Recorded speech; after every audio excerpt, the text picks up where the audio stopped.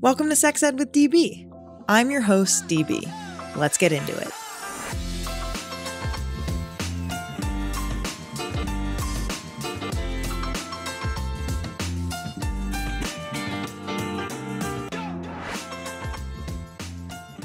Welcome back to the podcast. If you love and support the work that we do, consider joining my crew on Patreon to win amazing prizes like our adorable merch, exclusive behind-the-scenes content, and incredible sex toys. Go to patreon.com slash sexedwithdb to join my crew. Get discounts at all of your favorite sex toy shops at sexedwithdb.com.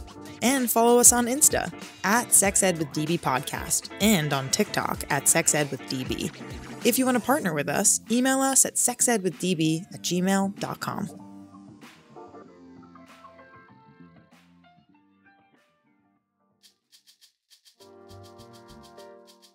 Ever wish there was a Netflix of sexual wellness and intimacy? Lucky for you, there is. Meet Beducated. Beducated's online course platform has easy to follow video, audio, and written guides that provide techniques and information to level up your love life. They have so many courses on all things sex and intimacy, but some of my faves are the female orgasm course, cunnilingus course, and the squirting course. Join Beducated from just $7.99 per month with a 24-hour free trial using my coupon code SEXED at beducated.com.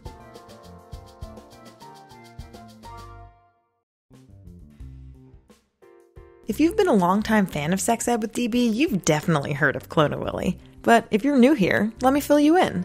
Clone-A-Willy makes incredible DIY molding kits that allow anyone to make an exact replica of any penis or vulva into a high quality, 100% body safe sex toy. And there are so many fun colors to choose from. Use promo code SEXEDWITHDB for 20% off at cloneawilly.com and follow them on Instagram at CloneAWillyKit. We talk a lot about sex ed, but when we're shopping for products to support our sexual wellness, exploration, and expression, we head to the experts at Lion's Den. Lion's Den is an adult retailer with 46 locations nationwide and hundreds of your favorite brands. They have everything you need to explore and express your sexual side. Right now, you can use code SEXED with DB for 15% off your purchase in store and online. Follow them on social media at Lions Den Adult on IG and TikTok for exclusive offers, deals, and giveaways. Hey, everybody. Just here to give you a little bit of a warning that in this episode we will be discussing suicide. So if that is challenging for you, feel free to skip to minute 1025 and skip from 4340 to 4740 or skip this episode altogether. Thanks so much for listening. Courtney, hello. Welcome to the podcast. How are you doing today? Hey, I'm doing well. Thank you for having me. So excited that you're here. I have seen you in a couple of different articles and on the interwebs, and I'm very, very excited to talk to you today about herpes and STIs. And I can't wait to get into our conversation. It's going to be the best. Yeah, um, I love having this conversation, um, especially given how much depth it goes into uh, to show people that it's so much more than just about herpes or STIs. But I'm going to let you do the interview because I, I, talk. I really, really talk. well, I'm glad to have you. You're, you're here to talk, so that's excellent. But please go ahead and introduce yourself. Uh, tell us about your your advocacy, and your podcast, which is called Something Positive for Positive People, aka SPFPP. Yeah. So in 2017, Something Positive for Positive People began as a suicide prevention resource for people who are struggling most with herpes stigma. And I want to preface this um, everything that I speak to moving forward, just with that, I believe most people who are living with herpes are okay or at an okay place with it. And so we don't hear from them. We don't hear from the experts, if you will, on living with herpes stigma because they're living with herpes stigma and it's not really impacting them. So for the people who are in their most extreme, uh, dark places about it to the point of suicide ideation, what this began as was me just finding people who could offer their experiences so that people who didn't have any sort of a roadmap to navigate their diagnosis, dating, disclosure, had something in order to reference um, to navigate the stigma. going from the first interview to the second led to there being a lot more as I continued to share within the herpes support groups and communities that I'm part of. I have herpes. I've had herpes uh, genital HSV2 for nine years now. And in 2017, that was when I first stumbled into these communities. And after having seen that there were people who were struggling as much as they were, the best thing that was in my realm of perspective to do was to bring these experiences to the people who needed them most. And then over time, that began to evolve into what became a podcast called Something Positive for Positive People in 2019, I registered for nonprofit 501c3 status in order to be able to raise money to pay for people to get therapy. In 2020, 2021, we were able to get 40 ish people enrolled into therapy. And those 40 ish people gave me a lot of useful insights for how to heal, if you will, uh, and what that process looks like. What I found to be interesting, just a couple of things, was uh, one, that people who reached out to me for therapy already had a therapist and they didn't want to tell their therapist that they had herpes. So I thought that was kind of strange and something that's worth exploring uh, stigma in the mental health space. Another thing that stood out was how useful the podcast itself was. It wasn't necessarily the the therapy, if you will, that people really found the support and healing from. It was being able to have a resource that allowed for them to hear two or more people intelligently and confidently talk about what it meant to live with the herpes virus. That was something that was really, really supportive to them. So in reflecting on all of the input that people gave from going through their exit interviews, what I came to was that um, we can recommend therapists who are sex positive, who have experiences in working with people navigating stigma. But ultimately, the podcast is what the resource is. So now the focus has been more getting back to the core of something positive for positive people which is suicide prevention. And it just so happens to extend into uh, talking about herpes, talking about sexual health communication, as well as that interconnectedness of sexual health and mental health. Uh, so through connecting with people there, I hope to be able to bring this to light that, you know, when we look at it from a suicide prevention resource or from a suicide prevention angle, it really begins where sex education starts and then when a diagnosis happens. Everything in between there is stigma because we're not prepared for dealing with a diagnosis and we're not prepared to seek out resources in the event that we take all of the preventive measures and then they happen to let us down or fail, if you will. So being able to prepare youth in a way that allows for them to be able to seek support and resources in the event that something does go wrong. It is directly suicide prevention, um, uh, is suicide prevention.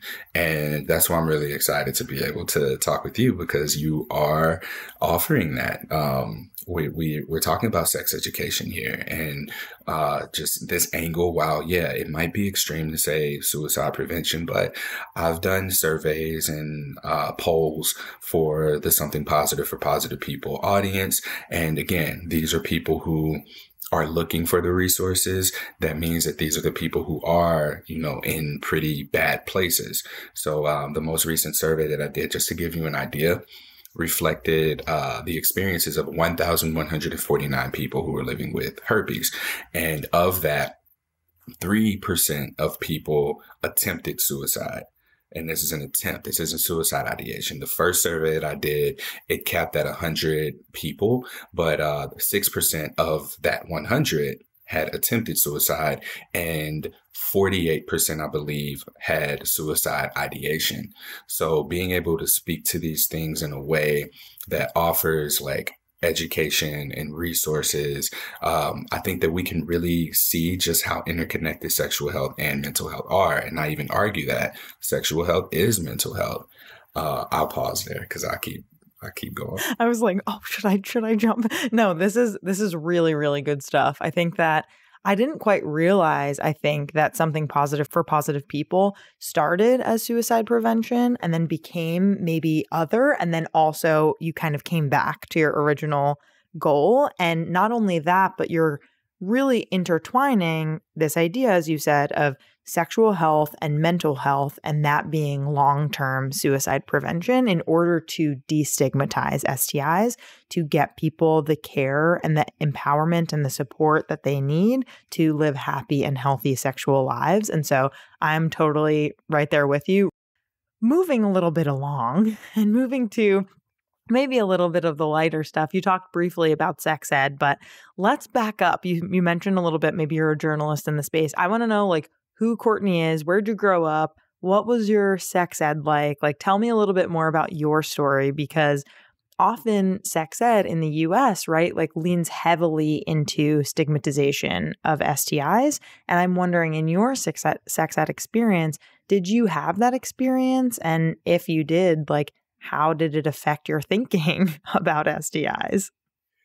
Um, as I was listening to your podcast with um, Reverend Pleasure, I thought about my first exposure to sex ed, and I can't remember what came first between uh, hearing about sex from friends or if it was at home watching the first porn on VHS that I actually saw, or if it came from school. Uh, I remember early on that like my my household was very like pro don't get pregnant, don't get anybody pregnant. It wasn't really about STIs or um, any sort of at, at that point in time STD was the word that was used. It was about pregnancy. My mom had me at a young age. Uh, she was pregnant with me at 17 and the experience that she had navigating a teen pregnancy, still living at home, she didn't want that for me, nor did my grandfather, my grandmother want that for me. So they really drove home not to get anyone pregnant. All right. And I think that the very first exposure uh, to what sex was beyond pregnancy might have been that VHS tape. It was an interracial threesome, which speaks highly to like where I'm at in my own sexuality right now. Interesting. Yeah, very. Yeah. So, um, that was my very first. I remember the tape. I remember what the people looked like. and this was at uh, how old would I have been? I was under 12 for sure. And like that was my first experience. Like I remember like not wanting to masturbate because I don't know what it was. I always felt like somebody was watching me. I don't know how arrogant you have to be to think that someone is always watching you. And maybe this had something to do with religion. God can see you, you know? Right. And so I remember like not wanting to masturbate. I don't think I even masturbated officially until uh, I might have been 14. I was in middle school. And I remember it was like, it was like a, a shotgun. It was boom. And I came. I was like, yo, what is this? And I didn't want to be made fun world. of. Right. I never, and thinking that someone was always watching, I was like, oh my God, what if my friends found out that I'm masturbating instead of having sex? Because that was like the thing. Oh, like, that was like embarrassing make, comparatively. Yeah, it was like we'd make fun of people who can't get laid or oh you haven't had sex yet. You're you're late to the party. And so what I would do was and this is embarrassing, but I mean for the sake of sex education, this is a thing that needs to be discussed. If you don't give people like a roadmap of where to go and the direction to go into, then they'll kind of just go away from things in a way that could be more dangerous. So um, I used to have these, I'll use like paper towel rolls and put like baby oil gel in them or Vaseline or something. And that was how I masturbate because I wasn't masturbating because I wasn't doing it with my hand.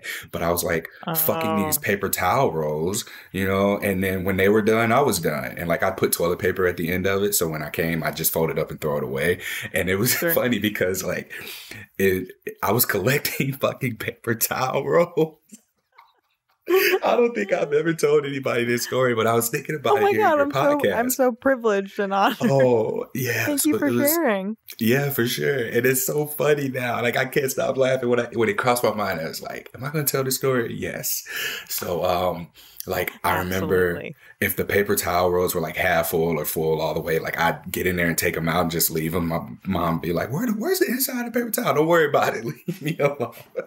It So I'd- ran away. I have no idea. out. Never seen it. Never heard of it.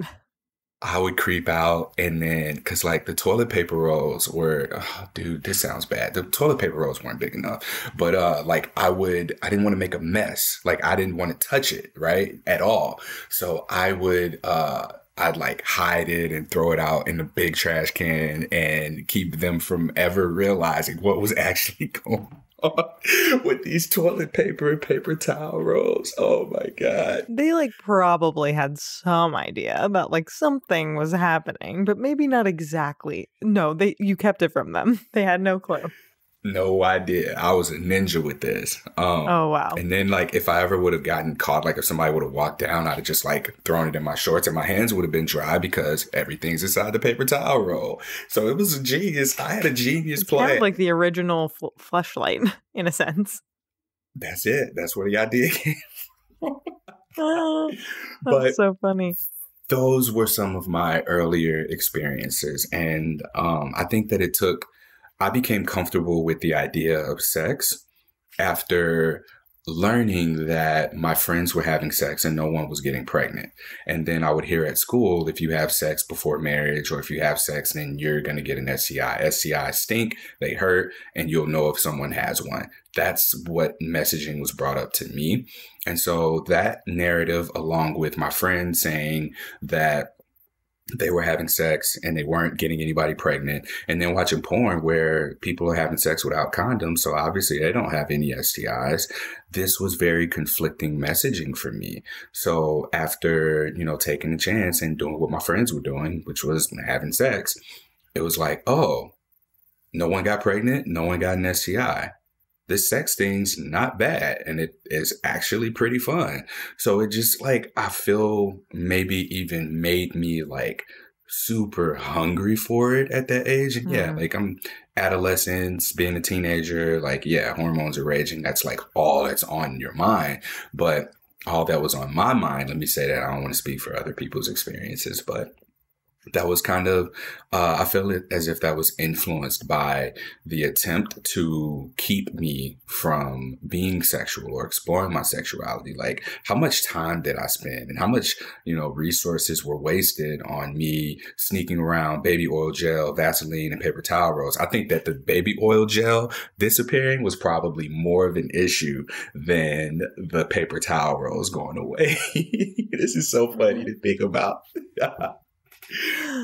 But yeah, I mean, you were a kid, right? Like there there are so many things that kids do that make it seem like it's so wild and so weird and so kooky and crazy, but the reality is is that many kids, most kids masturbate in some form using whatever tools they can find around the house, especially because parents, at least of my I'm 29 of my parents' generation, and it also really depends on culture and race and ethnicity and where you grew up. And there's so many factors that go into what your parents are comfortable talking to you about.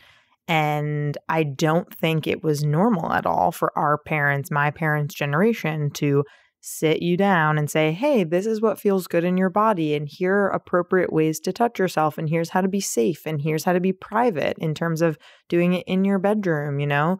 And so I think that to us, we have these like really deep seated shames, like shameful stories about how we masturbated and how we engaged with sex. And the reality is, is it's totally normal in most cases. And I think that brings me to the next topic, which is herpes, because that's also normal and it's very common. And so I have a couple of stats that I want to share with our listeners. According to John Hopkins Medicine, 50, 50 to 80, 80% of American adults have oral herpes, which is typically herpes simplex virus 1, HSV1, which literally are cold sores or blisters in or around the mouth, okay? And genital herpes, that's typically HSV2, affects around one out of every six people in the US aged 14 to 49. So, like sharing those stats, first of all, with herpes one. Um, I have herpes one. I think that I've talked about that on the podcast before. And I get a sore in my mouth, you know, once a month in the same spot. I personally take antivirals every day to suppress the sores. Um, and it's an inconvenience and it's manageable. And just like many other people who are living with chronic conditions or other ways that they experience pain, you know, whether that, whether that be emotionally, mentally, mentally, physically, um, I think that it's it's common, and I really wanted to take the space and a moment to say that before I hear about your experience with herpes and how you advocate to destigmatize and normalize the diagnosis for others. Um, thank you for sharing that. I appreciate yeah. that you had statistics because I shy away from them completely. I more so highlight the experiences of people and their experiences navigating stigma. Um, I want to say I didn't realize this until therapy that my experience with my herpes diagnosis was really a physical representation of something that had been happening with me emotionally or mentally, even. Um, and that was like this avoidance of rejection. Like, if you look at me now, I have this platform, this social media, this organization, this podcast, all of that. And it's like a way of avoiding rejection, if you will to be able mm. to say like if you google courtney brame you will always see herpes stuff so therefore no one can reject me for having herpes because this is out there so i process this sorry i have to interrupt myself. you because it's kind of like that moment in eight mile where eminem at the end is just like i do live in a trailer with my mom and he's like yes fuck you and that's basically like if i tell everyone my secrets then they have nothing on me yeah, and that's my favorite movie too, by the way. So there's oh, a connection really? there. I'm glad you referenced okay. that. Yeah. Okay. Um, I think I can quote. I could probably quote it for at the very least, like the the last rap battle. But I, I, we're, we're drifting. We're Fantastic. Drifting. Another time. Um, another episode yeah.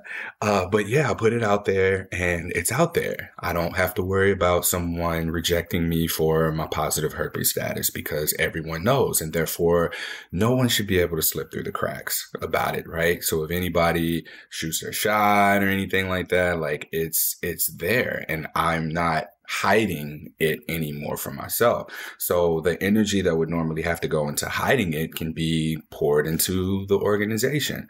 So I come from a place of a lot of people call me brave or they say, Oh, you're so courageous. And honestly, that's not what it is. It's privilege. I come from a place of privilege where my income is not directly impacted by being open about my herpes status. I don't have to worry about any sort of stigmatization in the workplace. Um, I worked with a friend and have been self employed for the entirety of my de- decision to be open about um, having herpes. And when this podcast started, when the organization started, I was already open about it.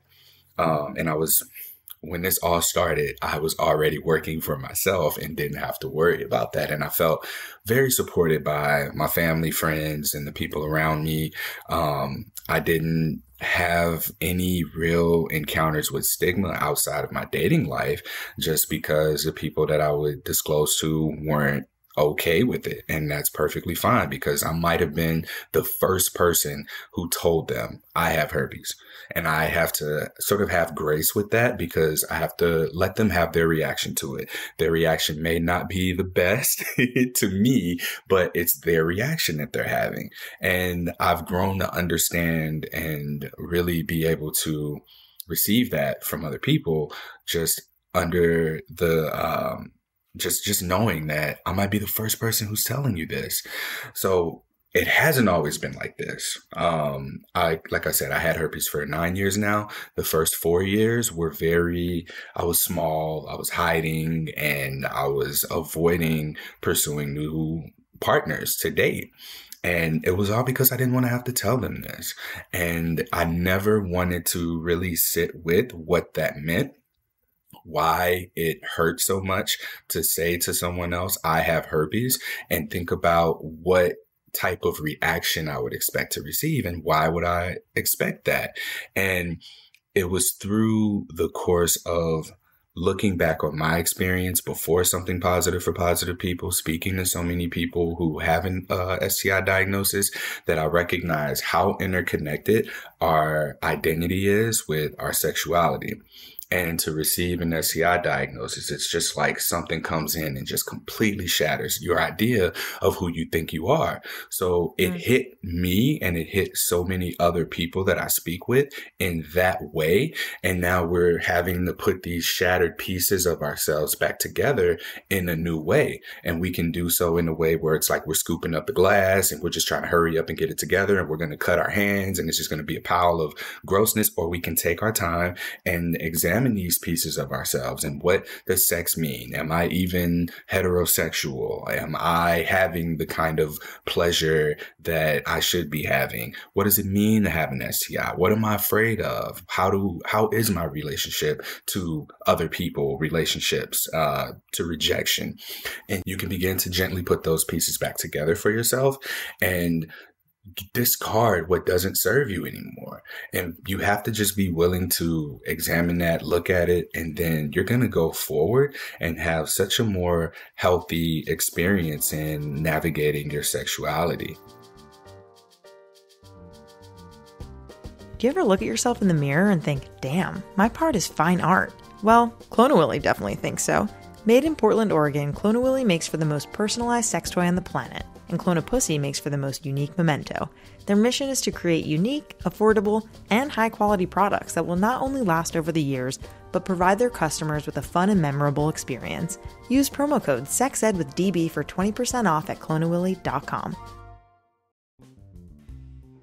Close your eyes and think of your ideal sex toy. No matter what you like, you'll find it at Fun Factory. A few things Fun Factory's toys all have in common. They're 100% body safe so your mind is free to focus on fun.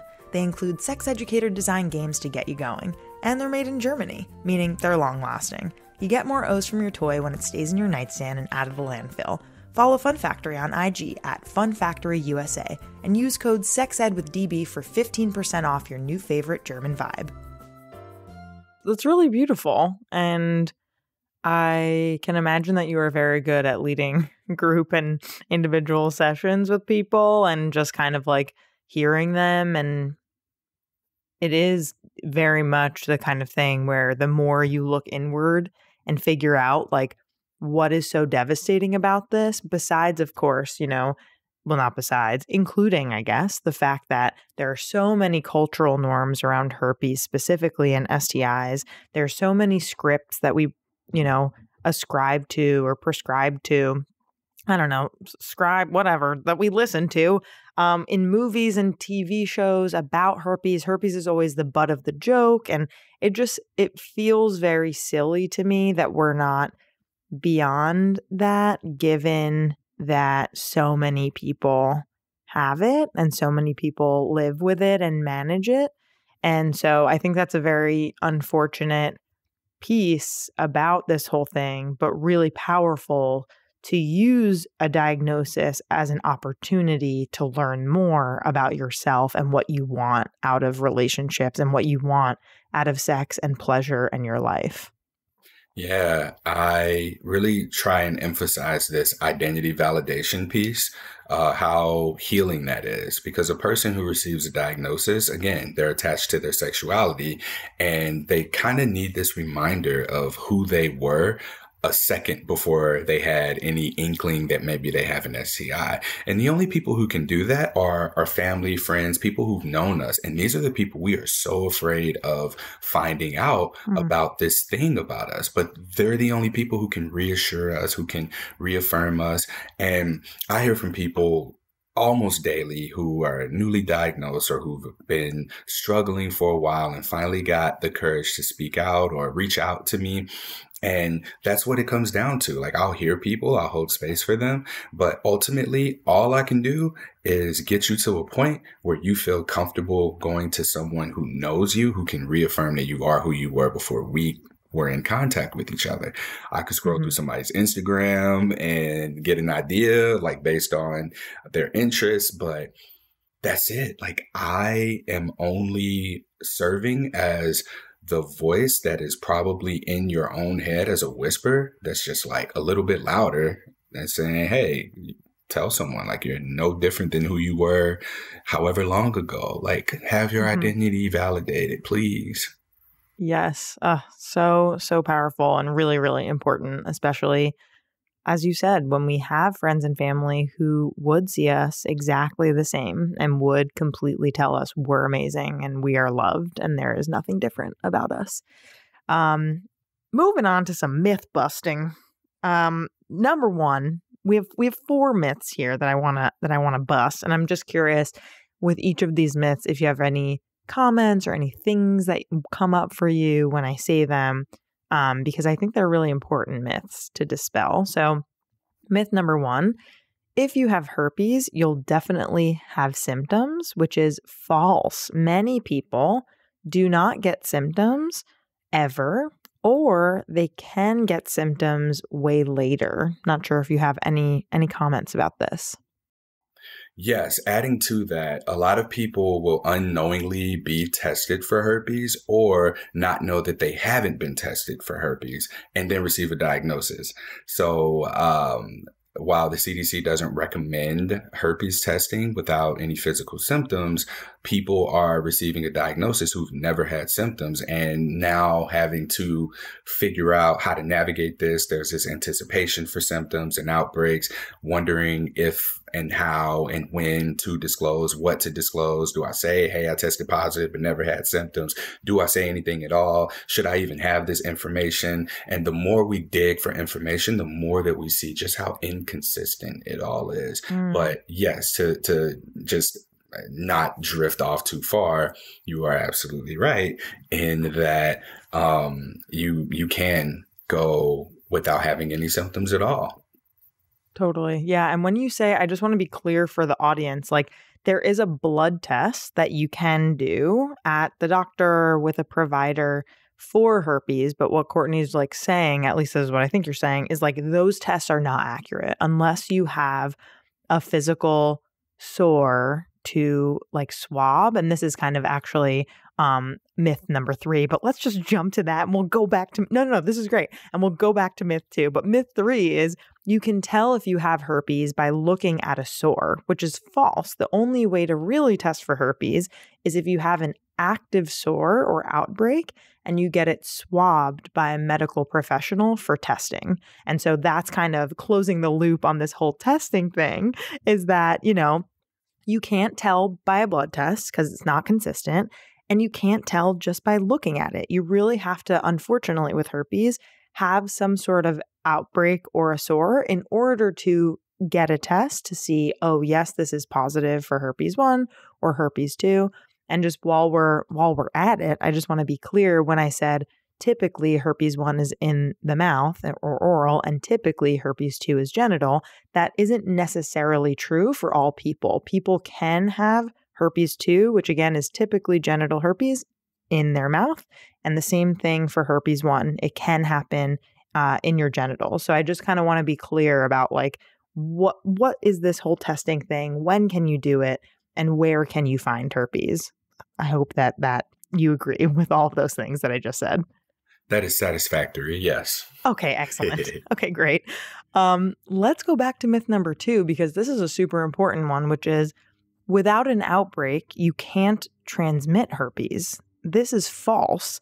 You can, in fact, shed the virus even if you do not have an outbreak. So, all that is to say, not to spread more stigma, but just to have the facts and just to understand that if you are about to get a sore within the next couple days, or if you already had a sore, but it, you know, that was a couple days ago, you can still, what doctors and professionals call shed the virus. And that means that when you're in that shedding period, a partner who has genital to genital or mouth to genital or mouth to mouth contact can still trans that can that can be transmitted to that partner. Yes, and just to add to that, because I like to add to things, um, Please. there it's also a possibility that you may be someone who is positive for herpes and have a partner who is not positive, who just doesn't test positive.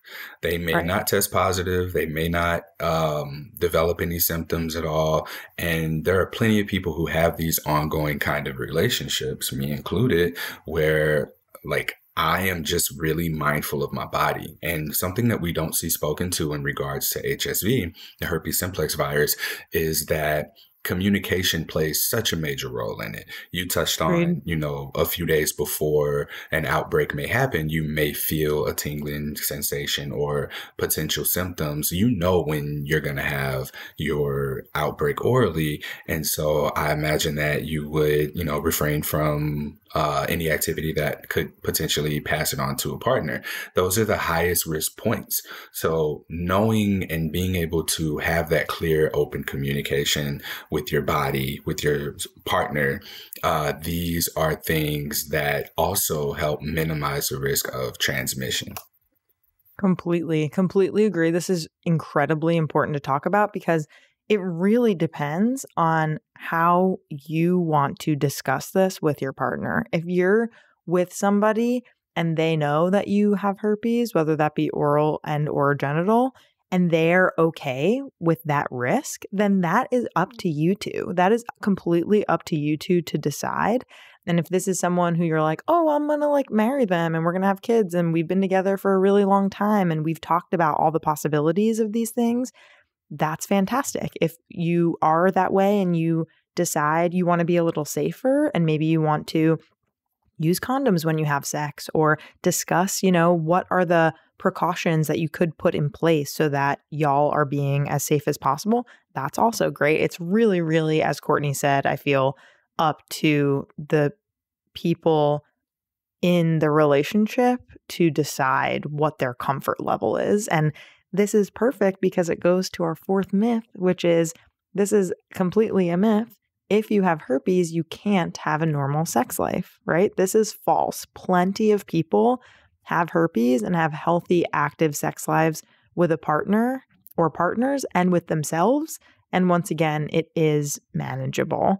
Um, anything you want to add or any more myths that you want to talk about? I was gonna say, once you have herpes, like you, who wants a normal sex life? You know, like what does that even look like? Do I right. know that before my diagnosis, I was having, I guess, quote, normal sex. And that normal sex was not near as communicative as it is now. And I believe that the communication that occurs now, because I have to, you know, more so vet partners to see if there's someone who is going to be receptive to me disclosing. I'm finding myself in much more high quality interactions with partners. And then we're also talking about things that we like, like what we enjoy. How does pleasure uh, how do we experience pleasure in our bodies?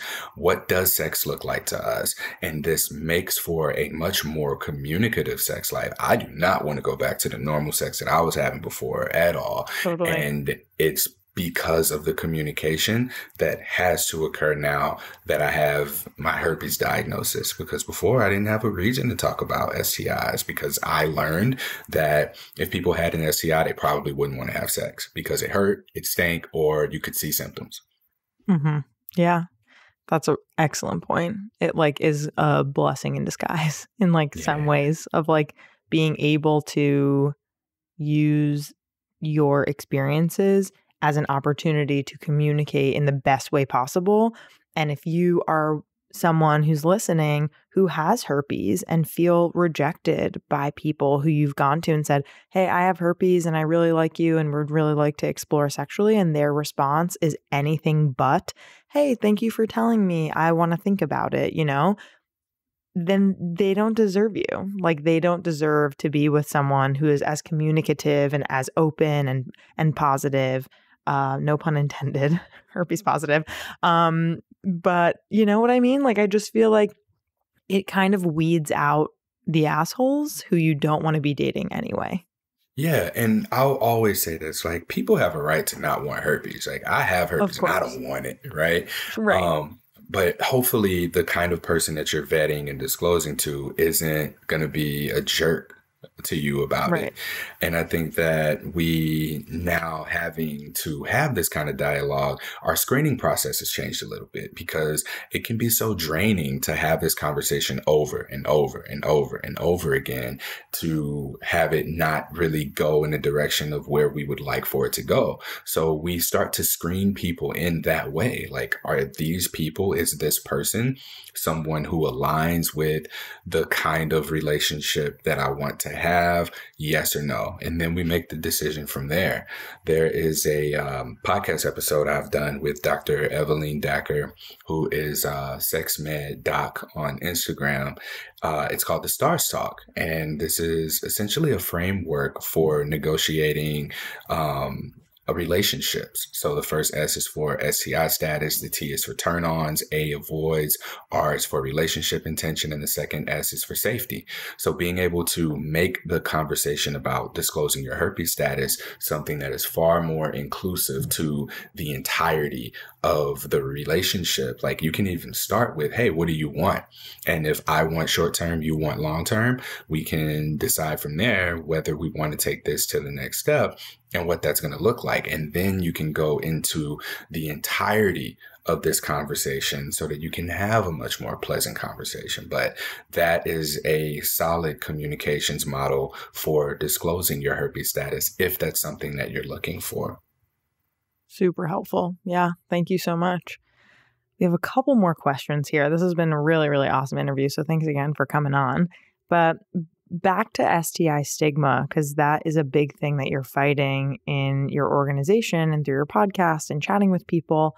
Like, why is it important to fight STI stigma? And tell me a little bit about maybe like one of your experiences chatting with someone on your podcast who has herpes and their experience maybe having these conversations coming to terms with their diagnosis. Um, obviously don't need to name names because it's it should be anonymous but you know um, you know with their figuring that out with themselves and with their own sexual and romantic partners I wouldn't be able to find a lot of the podcast guests if I tried because everyone uses like a different first name just to protect their anonymity. So I have to like hurry up and remind them, hey, your podcast episode's out. And I might sure. be wrong. So that's, yeah, we don't have to worry about anybody being outed here. Um, okay, great. As far as combating stigma, I see a lot of people saying, you know, this needs to happen, that needs to happen, this needs to be done in reference to dissolving stigma. But I believe like we need to do that within ourselves. Like it's a matter of checking any of your own stigma. How do you as a person respond to herpes jokes? How do you as a person respond when you see a flyer that says we want to eradicate all STDs and have an understanding that we all know someone who's living with a chronic STI. We just may not know it because we're not demonstrating ourselves to be a safe enough space for them to confide in us in that way it was after I started to open up about my own status that I saw other people who I would have never known who were close to me also talk about having had STIs, herpes themselves, or even dating and knowing other people who also have it. So I've put myself in position to demonstrate allyship and support for these people. And I hope that me living as an example of that for other people who may find themselves being disclosed to, whether it be romantically or just, um, or, or platonically. I didn't mean to say just. Ugh, I hate that I do that. Like when people say just friends, That's it okay. really bothers me because it like devalues the friendship. But anyway, uh, that's important. I, I like that you said that. Thank you. Uh, I want to inspire allyship. And that's what I'm hoping that this work is able to do. Like you having me on your podcast, you're demonstrating allyship and the people who are making the space to listen and be a little bit more informed than they were before they got here is a demonstration of allyship. When people feel that they have safe spaces that they can go to and share what their challenges are, not just, you know, and herpes is an example. We can interchangeably use herpes for any life challenge or adversity. And this can be an opportunity to really connect with someone and to support uh, one another. As far a story of someone navigating stigma on my podcast, like the most extreme, um, what comes to mind right now, since we spoke about um, like suicide, um, I think that there was um, there was one of the guests that I had a long time ago, and there was a black woman and she was sharing her experience with her husband who ended up having HIV and he got a spider bite. It was this spider bite. Now, HIV is not what took him out. He had HIV, immune system's lowered, spider bite comes in, and then he goes to the hospital. They don't know what's wrong with him until it was beyond saving. So it was when she began to look through his journals because he's at the point of passing. So she's like looking through his stuff and come to find out he had disclosed to his pastor that he tested positive for HIV. And his pastor was like, nope, just pray it away. Don't tell anybody about this, oh, not even your wife. And so she found this information out. And by the time that like, she couldn't even confront him, she just like whispered to him while he was in the coma, I forgive you. He ended up passing away. But like, this is the kind of like, this is probably one of the more powerful stories. And while it's not herpes related, it just speaks to shame and stigma, you know, not just within communities, but from authority figures. Like this was a non medical professional who was giving medical advice to someone saying, no, don't get treatment, pray it away, God to take care of you. Now, don't get me wrong, he lived for a long time with HIV. Um, going untreated, but it was that spider bite on his leg that just wouldn't go away. It went untreated. And that's what took him out. So now his, this widow is alive to tell his story in that way. So, um, that's just a story that comes to mind right now because if we had better allies, if we had more information and he should have been told, all right, hey, we got this medication out now, go get, go and get on it. Um, U equals U, undetectable equals untransmittable. Um, I know we shifted from HSV to HIV. I don't want to confuse. No, I think it's it's equally as important to discuss though when we're talking about destigmatizing STIs. I think HIV is the other major major one that people like are understanding is in the same boat. Yeah, thank you. Um, and I, I, keep referencing your podcast with uh, Reverend Pleasure because a, a lot of what uh, was said there really resonates with me and like how the priority in this interaction between the pastor and the guy with HIV was about not being perceived as gay. Like this was a matter of combating mm. homosexuality, right? Because HIV was at that point in time a gay disease. And that was the way that it was approached. And look at what happened.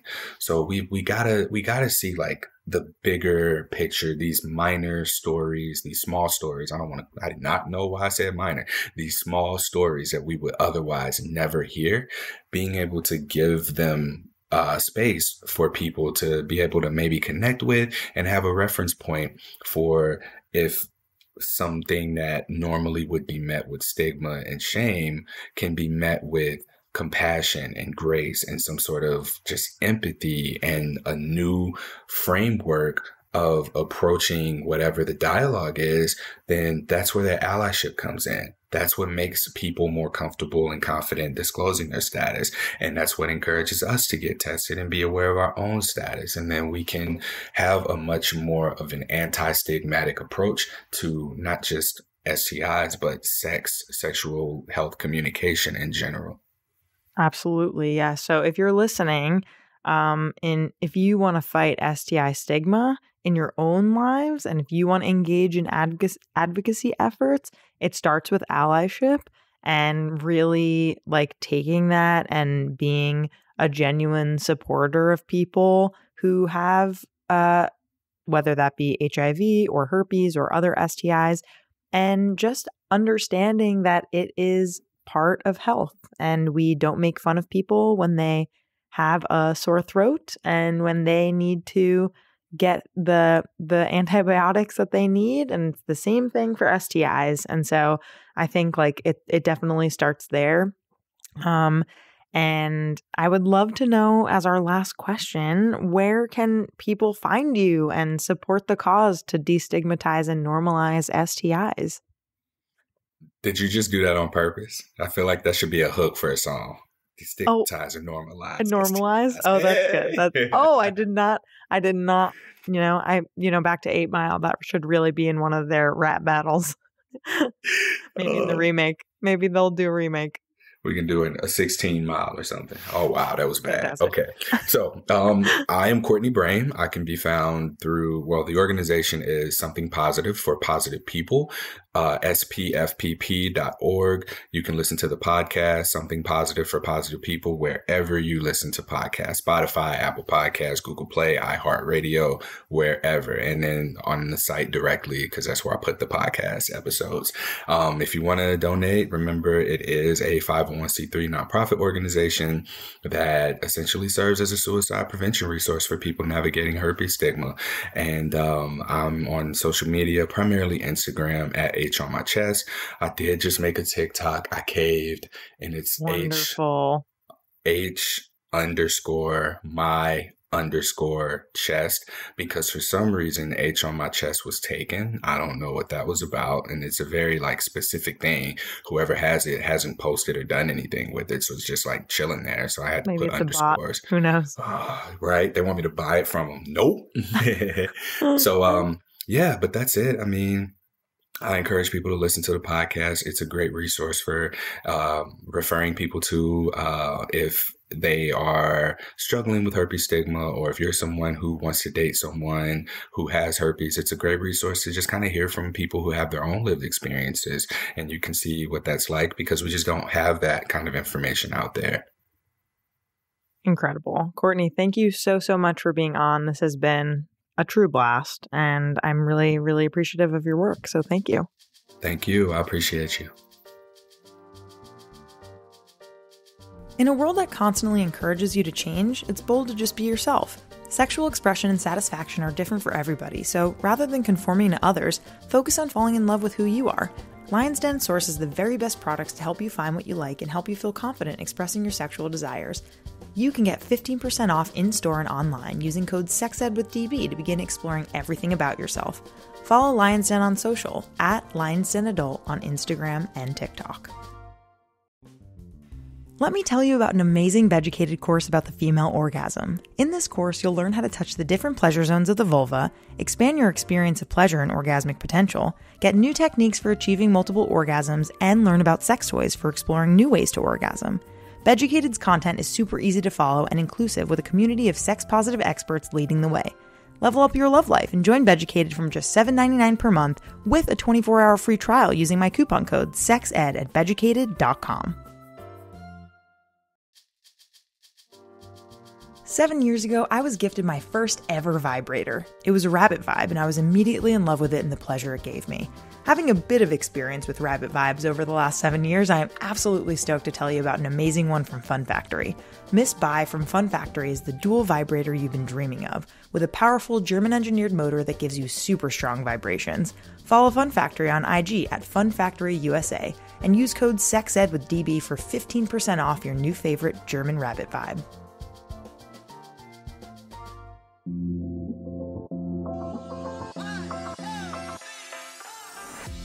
Our creator, host, EP, and sound engineer is me, Danielle Bezalel, aka DB.